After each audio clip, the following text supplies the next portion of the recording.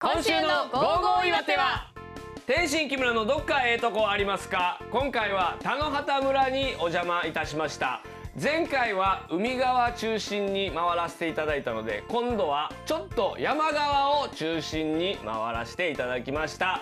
そうするといろんな出会いがありまして楽しい人たち美味しい食べ物たくさんございました。ゴーゴー岩手は13日朝7時30分から見てよ